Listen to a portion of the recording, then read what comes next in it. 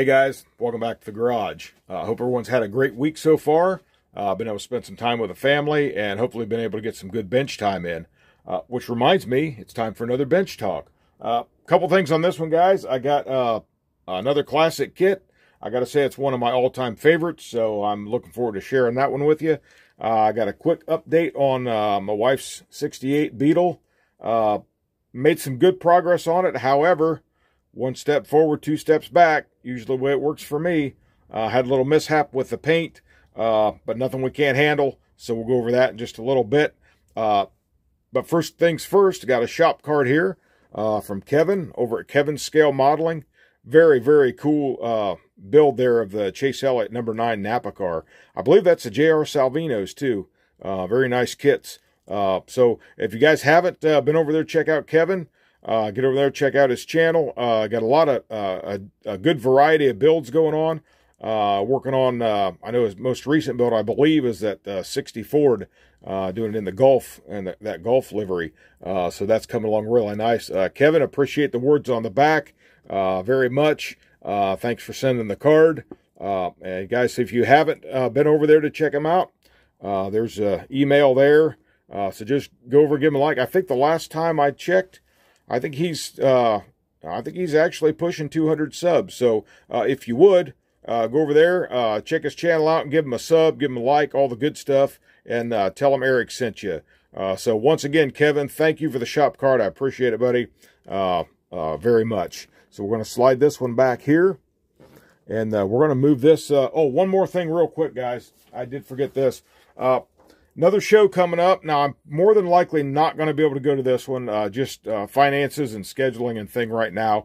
Uh, just not going to permit me to go. Uh, but this one is for coming up on no, uh, Saturday, November 2nd. So it's coming up here pretty quick. Uh, this is the Carbs Fall Fest in Dayton, or actually Fairborn, Ohio. You get 326 East Dayton, Yellow Springs Road in Fairborn. I've heard that's a really nice show. Though one of these days, I, something always keeps me from going down to that one. I know I got a couple guys uh, been after me to get down there. So one of these years, uh, I'm sure I'll make it down there. But uh, if, if, you're in that area, Dayton, Ohio area, uh, roundabout, go down, check it out. I hear they've always got a nice, uh, got a nice show going on down there. I'm, I'm, sure a nice swap meet and all, and all the like. So if you got a chance, guys, Saturday, November 2nd, 2024 in Fairborn, Carbs Fall Fest. So I wanted to give that uh, put that out there too. Uh, now let's take a look at this. Uh, let's take a look at this classic kit, guys. Uh, one of my favorites. Now I've had these on the channel. Matter of fact, you know we're building a custom one right now. Uh, but I've got a special uh, special connection. Uh, I want to say to this box art especially. now this actually is the one of the other ones that I saw at the Salinas swap meet. I'm actually pointed it out in the video, and I did uh, I couldn't let it just sit there. I had to go back and get it. Uh, 15 bucks for it, guys. So not a bad deal right there. Now, this box art, uh, this box art, according to ScaleMates, uh, was night from 1984. And I really, really love this style of box art, guys, because this is about the era that I really, that I really, really started building. Uh, I started getting more model kits for my birthday and Christmas and things like that coming along. Had a paper route uh, so I'd go get a kit uh, here and there. Uh, so really, really like this box art. So uh, what are we going to do? Uh, like we always do, we're just going to take a walk around it first before we open it up. So uh, this was a three-in-one kit. you have three options, stock, custom, and drag. it is in 125th scale, AMT Ertl 57 Ford. I just, I always like that box art there, guys, that blue with the, with the white wheels and the and the beanie caps or those uh, yeah the beanie caps. Uh, just just really really nice looking the way they did that. Uh, and if we look around here then we got a couple pictures here. There's one with uh, the optional engine there uh, stacks velocity stacks on there. Uh, and then a picture of the bottom. Go along see optional decals you got for it and just mainly mainly pictures of the custom there on the side. And then of course as always same box art usually on the side as on the top. Then over here uh, just tells you your uh, molded in color, chrome parts, stock tires, drag, slick, so on and so forth. And uh, if it's, I don't think these had a year on these boxes, but uh, according to ScaleMates, this box art was released in 1984. And then again, same thing on the end. So we're going to go ahead and pop this open here real quick. Now, it is not complete. I have been through there. Uh, it looks like a lot of the uh, custom parts, a lot of the custom parts have been taken from it, but it, if one wanted to build it, it is all there uh, to build as an original, original style kit. But the uh, instructions still really good shape.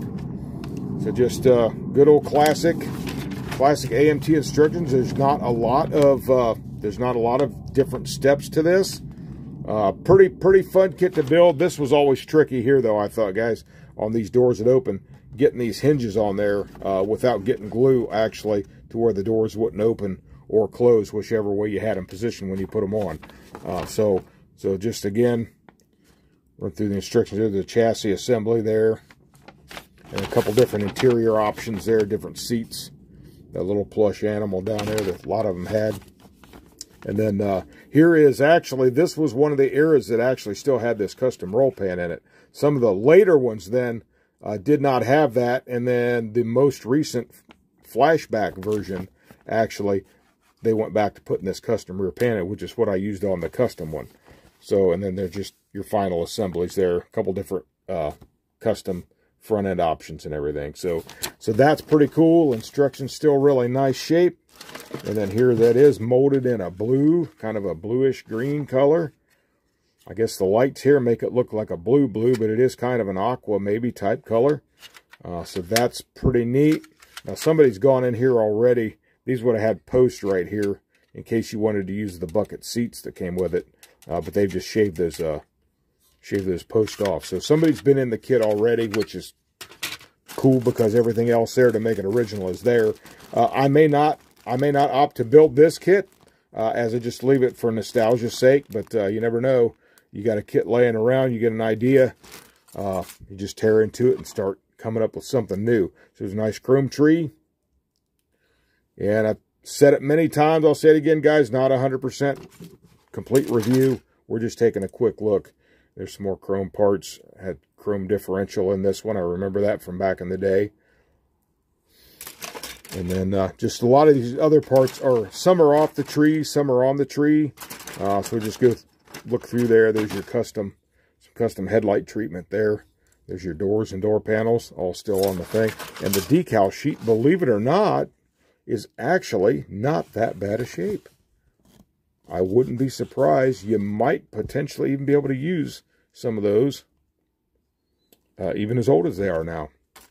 But then again, you got, uh, now this come with several different steering wheels from different kits. Uh, so there are a couple little extra 57 Ford pieces in there, but uh, everything to do an original version uh, is is all in there. So I just thought that was so cool, guys. I had to have it. Like I said, if nothing else, for the nostalgia sake of it, uh, and and this being the era uh, that I really, really started getting into building. Um, I remember getting this this one actually particularly. Uh, now that one that I built, uh, I actually ended up turning it into a. I actually ended up turning it into a uh, junkyard car. So it's it's in one of my dioramas I have now. But here's now here's another one from the era molded in color. Uh, maybe a paint if you wanted to paint right over the plastic, but if you throw some primer on there, generally generally not too bad uh, to get the color that you want. So that's it, guys. Uh, AMT Ertl 1957 Ford. So that was a cool to get that. And I did forget one thing else, guys. See, if I don't write stuff down, I forget it. Kevin also sent me a sticker. So, Kevin, thank you for that, buddy. I appreciate that. That's awesome. We'll try to find a prominent place here on the uh, on the bench to put it where we don't get uh, some kind of chemical on it and uh, and take all the color off of it. So there's that. So we'll put that right up there. And uh, moving on next, uh, my wife's bug that I've been working on for her. I did get the chassis and everything interior pretty much done. I did have this hand grip. Uh, actually fell off dash, so I got to put that back on. But uh, there it is, guys. Uh, got the interior all done. Got the flocking on the seats. Got some flocking on the steering wheel and even actually found a little flower. I put the little flower vase in there. I know how easy it's going to be to see. I put a little flower in it there, and I got the dash cluster gauge. And if you can see that, I got the CD player with a CD uh, sticking out of it, ready to ready to listen to some tunes and roll down the road. So, uh, but all that's uh, all that's pretty much done there. Uh, there's the bottom of the chassis. Just kept it pretty basic, general, like it's a it's a restored driver. I do, you know what? I do still have to paint that horn. keep forgetting about that because I put that in after the fact. So, but anyway, there's the interior. So that's the good part. And then uh, the body, I ended up, I did have it painted, as you can see, uh, but I had it setting on a uh, on a piece of PVC in the in the uh, spray booth, and I went to pick it up, and instead of getting my fingers around it, I bumped it, and it fell back into my filter, which uh, had some crud on it, and um, messed the top up. So uh, I just decided, being it was acrylic like that, water-based, um, it wasn't going to wet sand too well, so I just decided to strip it. We're going to start over. So that's that. Uh, this will be the color. And I got a little nick here, so I'm going to have to repaint that as well. I, I guess I, I don't know. It's still early on, guys. I mean, I like the way the color's coming out, uh, but I guess it's still early on, so I'm not sure that I'm a huge fan yet of the Createx paint. Uh, I still have to make a decision on that. Got to decide uh, because I'm so used to using the automotive uh, acrylic enamel uh, that I use, uh, the fast dry. Uh, so, but there's the, there would be the engine cover there.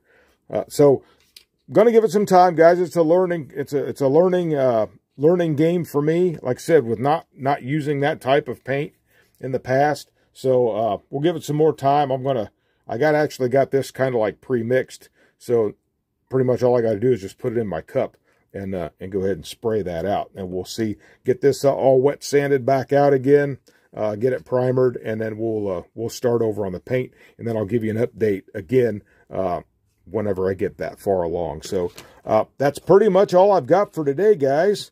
now, once again, Kevin, thank you for the shop card. It's so awesome. I appreciate that. And guys, I promise one of these days, because of my bench area out here, uh, is being the way it is, I have not got a prominent place yet for all you guys shop cards. And I appreciate all the shop cards you've sent me. And I would like to get a spot where I can display them and have them up uh, uh, when I do my videos. So uh, I'll work, I'll try to get something worked on that, but I appreciate all the shop cards. Uh, I do have some left of mine. If you guys would like a shop card, uh, just send me uh, the email right there. you'll always find it in the channel description and the description of each video uh, with my email. So if you want to email, just uh, uh, shoot me an email there and we'll get you our shop card. If you want my shop card, I'll get it, guys. It's getting late. I'm going to make it through this. I promise you. Uh, now, one thing else, if anybody is still waiting on a shop card, you've not got a shop card yet, please, please send me an email and let me know that, and I will be sure to get one out to you. I try to always get right on that. Sometimes things get caught up in the mix, and I don't always remember to get them out. I think I've got everybody caught up, but if I have not, please let me know, and I will get one uh, out to you just as soon as possible. So with that one, guys, I think that's it. Uh, before I stand here and uh, fumble over my words and make an absolute fool of myself, uh, we're going to close this one on out. So once again, Kevin, I can't thank you enough. Appreciate the shop card, and uh, put the bug in here as we get ready to close this thing out. So uh, I probably missed something, guys. I probably missed something. Uh, if I did, we'll get it next time. All right, guys, I'm done yakking. So uh, if you like the video, please go give me a like, share, subscribe, and comment. All the good stuff. So until next time, this is Eric from Eric's Model Garage saying you guys have a great day. God bless you, and happy modeling.